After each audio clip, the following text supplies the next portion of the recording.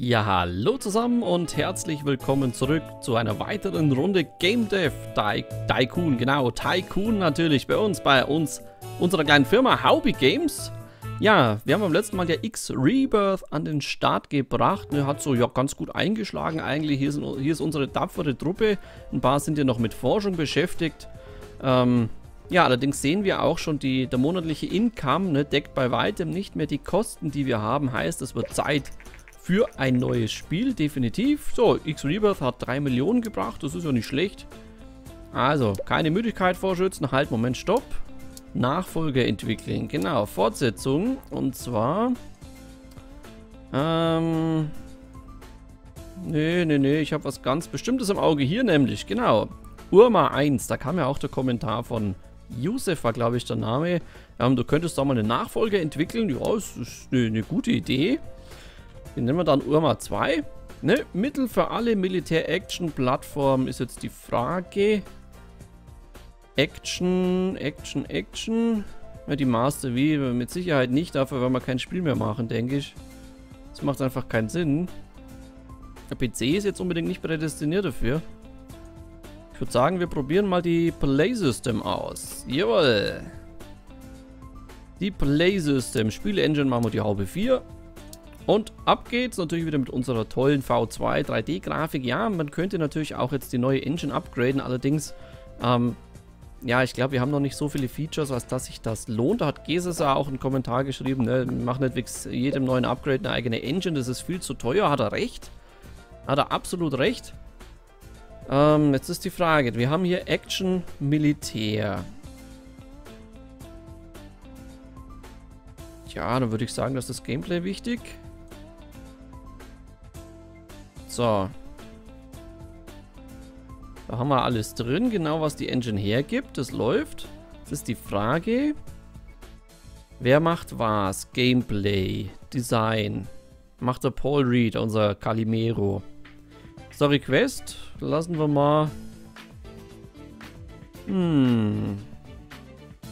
Sollen wir das? Ja, lass mal ein Hobby machen. Okay, und die Loretta macht natürlich hier, ne? Mal wieder die Engine als alter Technik-Freak. Genau, Stage 1 complete. Und die saufen schon wieder Kaffee, die zwei Herrschaften. Meine Herren. Unproduktives Volk, hey, echt. Oh, schau doch mal die Punkte an. Für die erste Stage ist das ja richtig gut. Liegt es jetzt daran, dass wir die richtigen Einstellungen haben oder liegt es daran, dass das ein Nachfolger ist? Ich weiß es nicht. Level Design, Action, Militär. KI ist wichtig. Es gibt, glaube ich, nichts Schlimmeres, als wenn du ein Action-Spiel hast ähm, und die KI ist so sau selten dämlich, dass äh, die gesamte Spielmechanik wie Deckungssystem und so weiter eine völlig überflüssig ist. Deswegen ist die KI, denke ich, schon wichtig.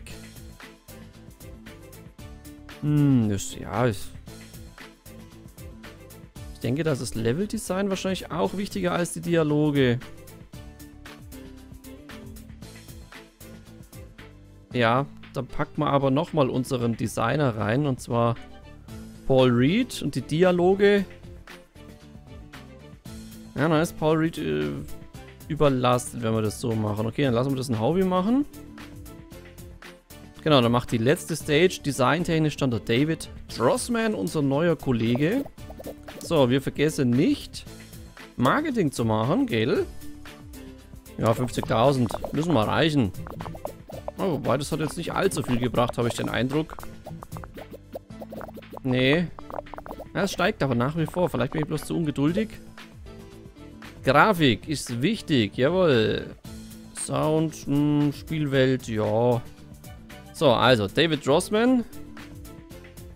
Ja, ist keiner ausgelastet. Ich glaube, das passt. Hat Jane Linden überhaupt irgendwas gemacht? Nee, null, ne? Die hat nichts gemacht. Ach komm, dann hast du ja auch ein bisschen was gemacht, gell? Dann warst du auch beteiligt. Soll ist er nicht dumm sterben, um Gottes Willen. Wer möchte das? Ja, ich denke, das können wir so lassen. Komm, hauen wir nochmal eine Werbung raus. Machen wir mal hier. Zeitschriften und Demos, also nochmal 150.000. Heißt, wir haben 200.000 rausgehaut für Marketing. Ach, ich habe es zu einem saublöden Zeitpunkt gewählt, weil jetzt kommt die G3. Äh, genau, jetzt kommt die G3. Klasse. Ach. Genau zu einem unmöglichen Zeitpunkt kommt es. Wobei, ich könnte jetzt noch warten. Komm, wir nehmen die G3 noch mit. Ein bisschen ja noch Bugs drin und alles. Jetzt hoffe ich bloß, dass der Hype nicht runtergeht. Komm, G3, G3. Bleib bei 35, bleib bei 35. Jawohl, wir haben es erfolgreich ausgesessen. Sehr schön. Viele, viele Besucher bei uns. Bitte, bitte. So ein neues Megaspiel, Urma 3. Äh, Urma 3 sage ich schon. Urma 2 natürlich, G3. Eieiei. 162.000. Och ja, ist doch nicht schlecht. Wir haben es wieder nicht unter die Top 100 geschafft. dafür ist der Stand wahrscheinlich zu klein. Ah, jetzt haben wir 133 Hype, ne? Back weg. Und raus damit. Oh, das sind ein paar Urlaubsreife, habe ich gesehen. Neue Rekorde, gutes Management. Naja, mei. Wenn man das so nennen kann.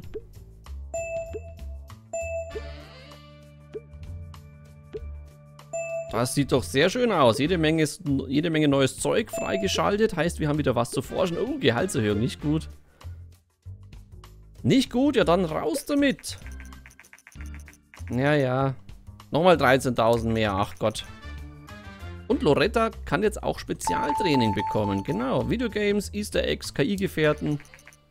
Was ist jetzt los? Oh. Renovierung des Büros. Paul Reed, Calimero möchte neue Computersysteme haben. Hm. Ja, okay. Ich habe gedacht, ich kriege ein neues Büro. Oh, jetzt alle Flachbildschirme und so. Ja, nicht schlecht. Nobelgeld geht die Welt zugrunde hier, wa? So, Spielbericht. Ab in den Urlaub. Jetzt wollen wir was sehen. Habe es tagelang gespielt. Sehr schön. Action und Spiele funktionieren gut auf Play System. Militär und Action, sehr gut. Combo, das wird ein würdiger Nachfolger, denke ich. Sehr gut. Eine glatte 8, jawohl. Das gibt Geld. Das gibt Geld. So, pass auf, Forschung. Du machst die...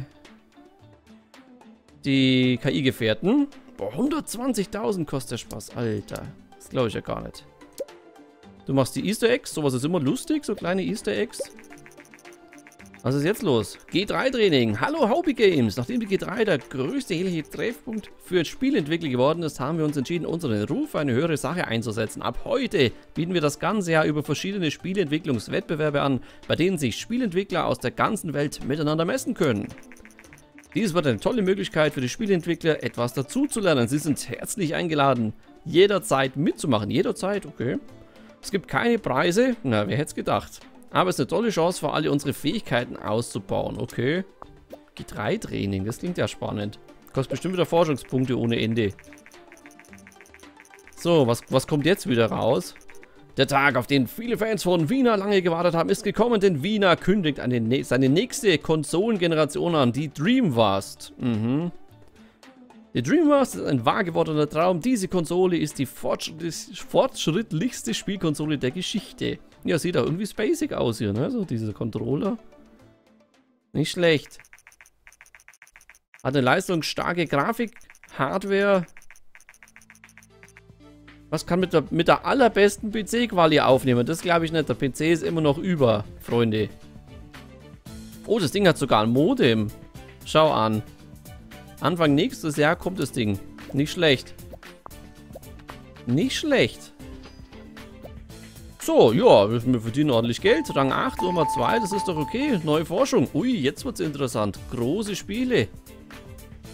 Äh, wieso kommt es jetzt? Was haben wir jetzt freigeschaltet, dass jetzt große Spiele kommen? Liegt das am Geld? Ich habe keine Ahnung. Liegt das an den Fans oder was war jetzt da der, der Impulsgeber dafür? Okay, also Leveldesign ist sehr wichtig.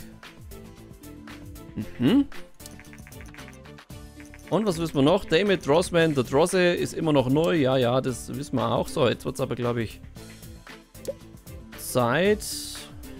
Große Spiele. Kommt, das machen wir auch noch. 300.000 kostet es. Alter. Könnt ihr in der Zwischenzeit mal eine Auftragsarbeit machen vielleicht? Dass einfach ein bisschen Geld reinkommt. Oh, schaffen die das zu viert?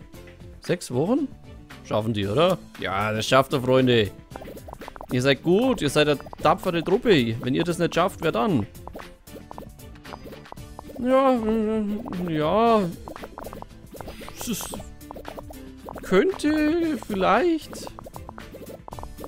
Ja, es könnte knapp werden. Mach hin jetzt. Ja, aber nie gefährdet. Nie gefährdet, natürlich. oh Gott. Hilfe. So, jetzt aber. Neue Engine, würde ich sagen, oder? 3D. Ne, die Erzählung haben wir ja ausgenommen. Dialoge haben wir auch raus. Easter Eggs, KI-Gefährten. Das sind drei Features und dafür 360, äh, 630.000 ausgeben. Drei neue Features. Hm. Lohnt sich das? Für drei Features? 630? Nee. Nee. Nee, nee, nee. Nee. Nee, muss nicht sein. Wir hauen lieber nochmal eine Fortsetzung raus und zwar von Space Quest. Genau. Space Quest wollen wir nochmal machen. Und zwar heißt, heißt es dann Space West, ja genau. Nein, natürlich nicht Space West, das, das wäre ja schwierig. Space Quest 2. Sollen wir es groß machen? 1,5 Millionen, oh mein Gott. Ah, die Kombination ist nur okay. Okay, Weltraumabenteuer ist nur okay.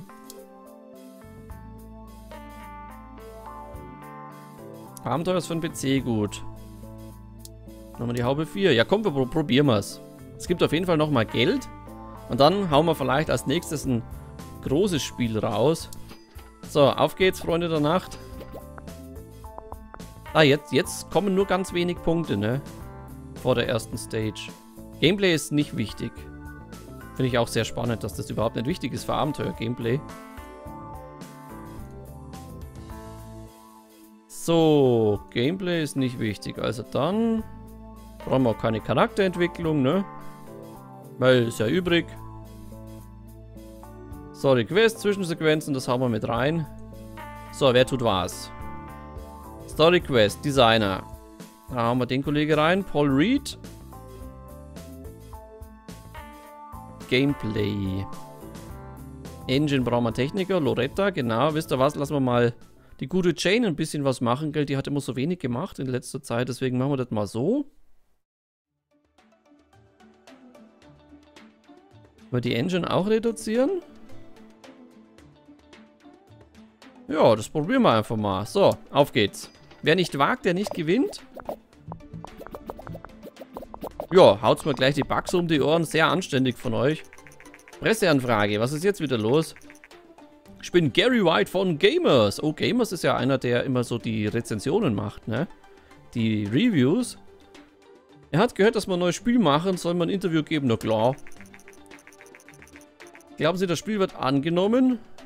Ja klar, freilich. Logisch. Was denkst du denn? Gleich mal hier Hype machen. Ne, große Versprechungen. Ja, das, das finde ich immer gut. Einfach mal das Maul aufreißen.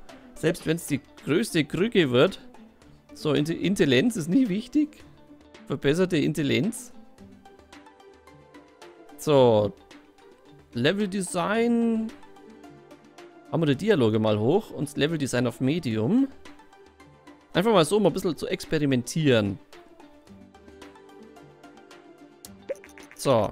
Urma 2 ist vom Markt genommen. 4,8 Millionen. Sehr geil.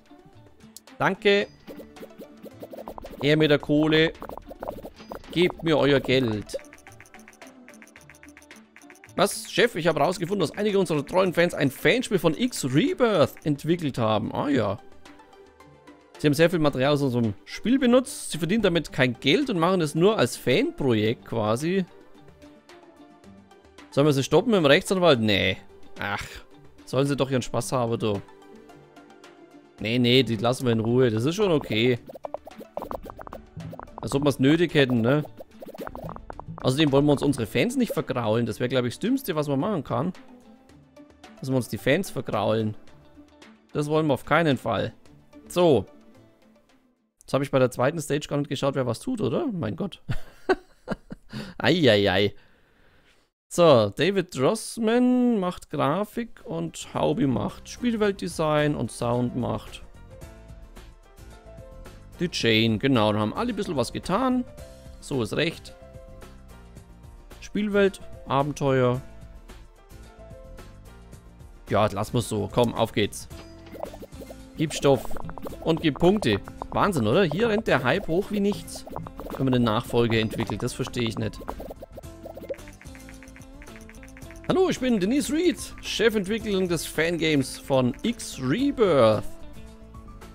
Ach, sie hat das mitgekriegt. Schon wieder der Maulwurf bei uns, ne? Der so intern als ausplaudert. Sie hat das mitgekriegt, dass wir gesagt haben, wir tun nichts dagegen. Das ist okay. Und sie ist sehr dankbar dafür. Ah ja. Hobby Games ist das beste Unternehmen der Welt und sie ist stolz, ein Teil der Fangemeinschaft zu sein. Ne? Das, das freut mich. Oh, gleich mal hier fast 11.000 neue Fans. Jawohl. Danke. Nicht schlecht. Ja, macht mal die Bugs noch bitte weg, gell? Danke euch. Oh, das Verhältnis passt aber irgendwie nicht, gell? Design, Technik. Hm. Und keine neuen Rekorde. Ja, das wird jetzt wahrscheinlich auch gar nicht so der Hit werden. Schätze ich jetzt mal. Ich schätze, das wird gar nicht so der Burner werden, das Spiel. Aber gut, wir wollten ja dann eh ein neues machen, ein neues großes, ne? Da könnten wir wieder SumCity machen. Ach, bei einem gibt es Gehaltserhöhung. Das ist ja wieder gemein. David Drossman. Ja, okay, das ist ja der billige, ne? Das ist ja nicht so schlimm. Soundtrack können wir jetzt forschen, jawohl. So, pass auf, dann machst du gleich mal hier eine kleine Forschung. Videowiedergabe von der Engine und du machst auch eine Forschung und zwar Soundtrack. Und du machst einen Spielbericht, Space Quest und du, mein Freund, trainierst. G3-Training, das sieht ja echt spannend aus. Üben, üben, üben. Kostet 10 Forschungspunkte und kostet auch ein bisschen mehr Geld. Die Bücher sind da schon ein wenig billiger, gell? Pixel Cup, Code Jam. Er ist Designer. Hm. Was könnte das sein? Innovation ist vermutlich Schwerpunkt auf Forschung. Time Trials ist Geschwindigkeit. Code Jam klingt mir jetzt eher nach Technologie. Game Jam ist, ja, ich weiß nicht, wahrscheinlich irgendwas ausgelegtes. Wir probieren mal Game Jam. So, erste Bewertungen sind da. Für Space Quest 2. Gutes Spiel, okay, ich bin nicht zufrieden. Eine 7 reicht mir. Das ist, passt. Eine 8 nehme ich natürlich auch mit, wenn man es tagelang gespielt hat. Sehr gut. Game Hero. Star Games, Informed Gamer, Game Hero. Sie haben es geschafft, einen schönen Ausgleich zwischen... Was? Einen schönen Ausgleich fandst du, oder? Ich fand das nicht. Aber gut. Zwischen Technik und Design zu schaffen. All Games. Na, dann war Gamer doch, also der Typ mit dem Interview, doch ein eigenständiger offenbar. Ich habe gedacht, das ist einer von unseren Review-Schreibern. Ja, okay, Freunde, dann gibt's Geld. Ist mir recht. So, du bist unser Designer, mach du mal Pixel Cup. Einfach, dass wir wissen, was das ist. Und? Und? Klingelingeling. 540.000. Immerhin. Rang 47. Okay, das war jetzt nicht so der Hit. Sehr mutige Bemerkung macht, dass Space Quest 2 noch in der Entwicklung extrem erfolgreich sein wird. Oh. Oh, okay, ich hab's Maul zu weit aufgerissen, sagt man uns durch die Blume. ja, mei. Das kann schon mal passieren, ne? Ist ja noch nie vorgekommen, dass der Hobby das Maul zu weit aufgerissen hat. Story Quest ist sehr wichtig, ja, das haben wir ja. Das wissen wir ja. So, dann pass auf, dann machen wir jetzt trotzdem eine neue Engine. Wir machen jetzt eine neue Engine. So. Easter Eggs. Jawohl, KI-Gefährten, Soundtrack, Stereo-Sound, Soundtrack. Soundtrack ist was eigenes, gell? Das kann ich da, oder sollte ich drin lassen? Ja. So, dann ist das die Haube 5. Die Haube 5. Kostet 730.000 Geld. Stutz, Franken, Euro. Sucht euch was aus. Wie auch immer. Ha! Freunde, merkt ihr was? Das ist unsere Vorgabe. Klarer Trend zu Simulationen hier. SumCity lässt grüßen, liebe Freunde. SumCity lässt grüßen, sage ich da mal. So, ihr macht mal die Engine, ne? Die Herrschaften, die gehen jetzt mal in Urlaub. Dass die fit sind. Wenn die Engine fertig ist. So, äh, die Plattform Dreamvast von Wiener ist draußen. Mhm. Ja, wie uns das freut. Wir können selber, da ist jetzt auch so eine Konsole hier, ne? Wir, wir können hier selber, irgendwie gab es ja auch einen, einen Redesign, habe ich den Eindruck. Oh, ist das Hospital-Teil oder Theme Hospital hier an der Wand? Oh mein Gott. Hilfe! 500.000 in die blöde Spiele-Engine, neues Achievement, ah ja. Nice. Neue Haube 5 ist fertig. Hm. Na dann. Doch nicht schlecht, oder? Aber Freunde, das ist für mich Gelegenheit an dieser Stelle eine kleine Pause zu machen.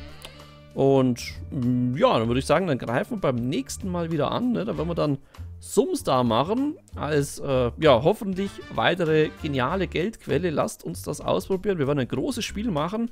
Ja, ich bin sehr gespannt. Ich bedanke mich wie immer an dieser Stelle fürs dabei sein und freue mich auf ein Wiedersehen beim nächsten Mal. Ne? Bis dahin, eine gute Zeit, macht's es gut und Servus.